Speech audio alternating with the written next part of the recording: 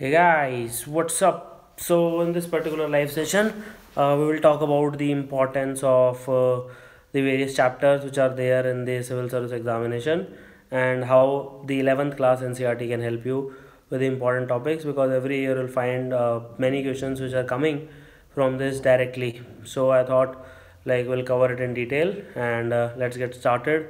So, when we talk about the diversity in the living world, uh, so that is the first chapter diversity in the living world. So basically it talks about that biology uh, basic classification uh, the living world biological classification plant kingdom animal kingdom. Now obviously like you can't remember them. It is huge. It is in much much detail. So obviously nobody expects you to remember everything. But uh, try to have basic understanding of what is going on. How is biology being defined redefined? What do you mean by living the definition of living how living organisms grows reproduction another feature is metabolism then cellular organization consciousness uh, then diversity the living world what is biodiversity how do you define it what is nomenclature okay like what is generic name specific name जैसे Carolus Linnaeus हमने नाम ही change कर लिया होमोसेपेंस by the way do subscribe to an academy and uh, uh, stay tuned for awesome live sessions and courses etc and they will really help you a lot okay?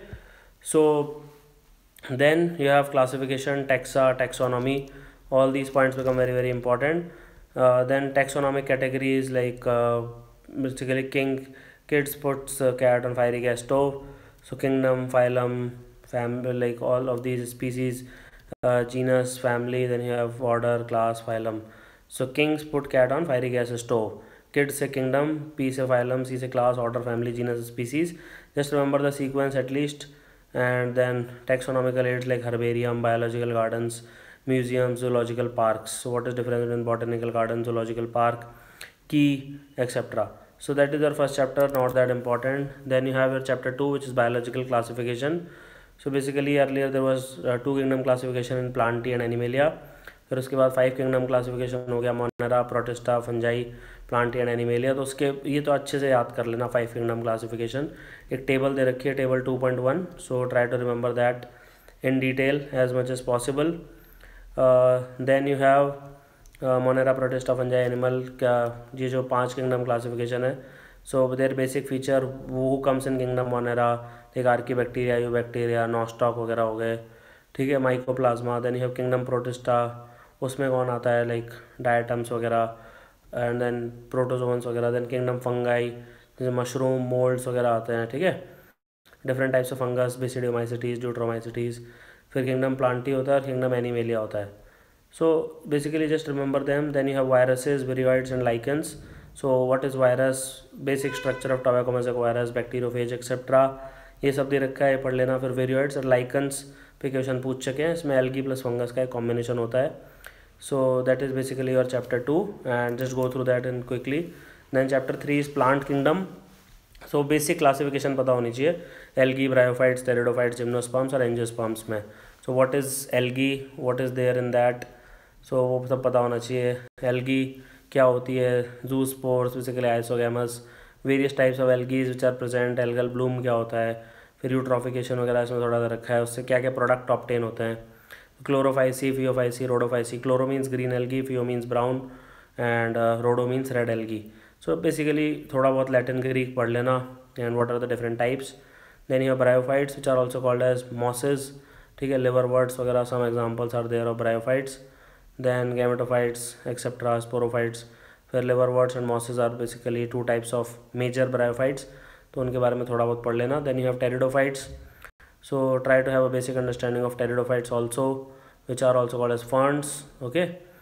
uh, then you have gymnosperms gymnosperms basically naked seeds so they like pines वगैरह में आप देखोगे तो seed सीधे होते हैं there are no flowers and uh, then pines are there in association with mycorrhiza a lot mycorrhiza basically means जो fungal uh, जो environment होता है so they hold on to you and that's how they uh, produce lot of organisms uh, for the absorption of nutrients minerals etc from the soil fungus is used by the plants then you have cones uh, then like basic uh, basic nomenclature is there but that will not be asked but then remember angiosperms are the only plants which bear flowers that is why they are called as angiosperms okay they have pollen grains they have ovules they have flowers they have जितना भी आपने stigma style ovary ये सब पढ़ा है that is in angiosperms basically then they are divide into two types dicots and monocots So basic uh, what differences between the basic types of dicots and monocots then what is double fertilization so figure 3.6 में दे रखा है तो just have a basic idea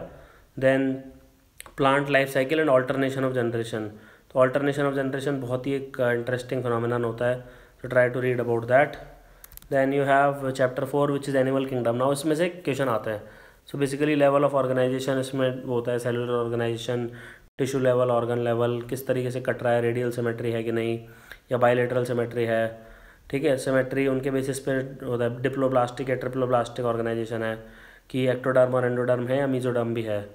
basic layers के basis में पूरा होता है, फिर सीलोम होती है कि नहीं? कुछ सीलोम्स होते हैं, जैसे सीलोम जिनमें नहीं होती शुरू के पाँच में नहीं होती, फिर सीलोम्स होती है राउंड वर्म्स में, है ना? और फिर ए सीलोम जैसे प्लेटी हेलमंथी जो फ्लैट वर्म्स होते हैं, उनमें सीलोम नहीं होती। फिर नोटोकॉर्ड फिर classification of animals basic classification जो फिगर फोर पॉइंट फोर में दे रखा है तो रट लेना अच्छे से। फिर नेम ऑफ़ फाइलम पॉरीफेरा जिसमें स्पॉन्जेस वगैरह होती हैं आपकी, ठीक है? फिर सिलेंट्रेटा निडेरिया जिसको बोलते हैं। फिर टीनोवा फिर प्लेटी हेलमंथीज जिसको होते हैं। फिर ASCII helminths round worms Ascaris वगैरह होते हैं, वो कैरेरिया जिससे आपके एलिफेंटियासिस होता है। फिर फाइलम एनेलिडा एनेलिडा में अर्थवर्म्स वगैरह आते हैं लीचेज आती हैं ब्लड सकिंग लीच फिर आर्थ्रोपोडा लार्जेस्ट फाइलम होता है। Arthro means basically joint poda means appendages तो दे हैव जॉइंट अपेंडेजिस है ना? And they are Malpighian tubules for excretion इसमें इंसेक्ट सबसे बड़ी क्लास होती है। फिर मॉलस्क में आपके जैसे ऑक्टोपस वगैरह आ जाते हैं। और फिर फाइनली है काइनोडर्मेटा जिसमें स्टारफिश वगैरह आ जाते हैं, ठीक है? Sea urchin starfish sea lily sea cucumber इसमें आते हैं। फिर हेमी कॉर्डेट्स होते हैं, फिर कॉर्डेट्स होते हैं। कॉर्डेट्स में फिर वो बेसिकली डिफरेंस दे रखा है टेबल फोर पॉइंट वन में। What is the difference between chordates and non chordates so just go through that once as well okay so that also becomes important then Vertebrata दो type के होते हैं तो jaw नहीं होता या jaw होता है। तो जिसमें जॉ नहीं होता, उसको एक नाथा बोलते हैं साइक्लोस्टोमेटा जॉ होता है। उसमें फिन्स होते हैं लिम्स होते हैं। फिन्स होते हैं तो उसको बोलते हैं फिशेज या पिसीज और लिम्स होते हैं तो उसको बोलते हैं टेट्रापोडा यानी कि Amphibia Reptilia Aves and mammals तो पाँच हो गई क्लासिफिकेशन बेसिक जैसे fishes amphibians reptiles birds and mammals इसी ऑर्डर में हम पृथ्वी पे आए हैं। इसी ऑर्डर में वो अर्थ पे आए हैं। अब उसमें भी बेसिक फिशेस कितने टाइप की होती हैं? फ्रॉ एम्फीबियंस के कॉमन एग्जांपल क्या हैं? जैसे सैलामेंडर हो गया फ्रॉग हो गया, ये सब जो होते हैं। फिर रेप्टीलिया के कॉमन एग्जांपल क्या हैं? आपके क्रोकोडाइल हो गया स्नैक हो गया लिजर्ड्स हो गई और टॉटाइज हो गया। तो यहाँ तक यूजुअली थ्री चेम्बर्ड हार्ट होता है बट क्रोकोडाइल में फोर चेम्बर्ड हार्ट होता है। और यहाँ तक जो रेप्टाइल्स होते हैं, वो कोल्ड ब्लडेड एनिमल्स होते हैं। और जो मैमल्स और बर्ड्स होते हैं they are warm blooded animals okay then you have birds and uh, they possess beak. The forelimbs are modified into wings and they are warm blooded animals. They have a constant body temperature जैसा कि मैंने आपको बताया और mammals obviously हैं ही। Mammals जो भी आप देखते हो सारे मैमल्स ही होते हैं। बेसिकली uh, तरह के होते हैं मेटाथीरियंस यूथीरियंस और प्रोटोथीरियंस तो प्रोटोथीरियंस में सिटेशियन ये सब होते हैं जो अंडे भी देते हैं कुछ मैमल्स बट ज़्यादातर मैमल्स जो हमारे होते हैं जो ह्यूमन बींग्स टाइप होते हैं फिर मेटाथीरियन जो कंगारू वगैरह होते हैं दे गिव बर्थ टू एक पाउच में पैदा करते हैं बच्चे को and finally you have us which give birth to the live young ones okay so these are the first four chapters इसमें से एक दो क्वेश्चन फंस जाएँगे। Then chapter five six seven are not really important for you guys so I go through it in very very detail much like faster chapter five है morphology of flowering plants तो उसमें कोई नहीं पूछता। Primary root secondary root या आप already पढ़ चुके हो six seventh eight nine tenth fibrous roots adventitious roots फिर रीजन्स ऑफ़ द रूट्स उसमें बहुत ही ज़्यादा डिटेल में वो पढ़ना नहीं है। मॉडिफिकेशन ऑफ़ रूट एक बार पढ़ लेना specially like presence of pneumatophores which are there in banyan tree it is for support etcetera at least उतना आप पढ़ लेना। फिर modification of root for storage purposes respiration pneumatophore okay so ये this becomes important and then stem is there, then modification of stems, tendrils, thorns जैसे बाउगनवेलिया में etcetera में होते हैं। फिर लीफ वगैरह में axillary bud leaf base all these becomes important in lamina और leaf blade venation reticulate venation parallel venation okay, all these becomes important. Phyllotaxy, then modification of leaves, inflorescence etc then flower important होता है bisexual asexual flowers उसमें क्या क्या है? मतलब ये बहुत ही ज़्यादा डिटेल में है तो यू कैन इग्नोर इट जैसे कैलिक्स कोरोला ये सब कोई नहीं पूछने वाला आपसे मतलब it everything can make note androecium gynoecium basic terms याद कर लेना which they can ask you now what is fruit so fruit is basically like parthenogenesis और पार्थनो कार्पी में एक बार डिफरेंस देख लेना.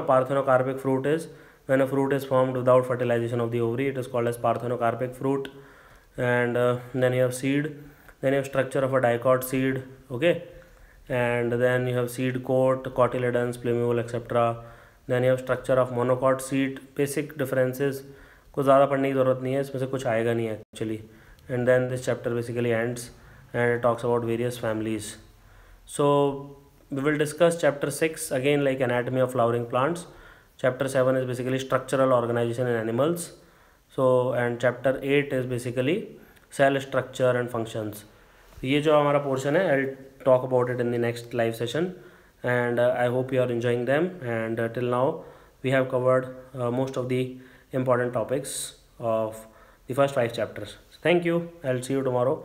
And do subscribe to an academy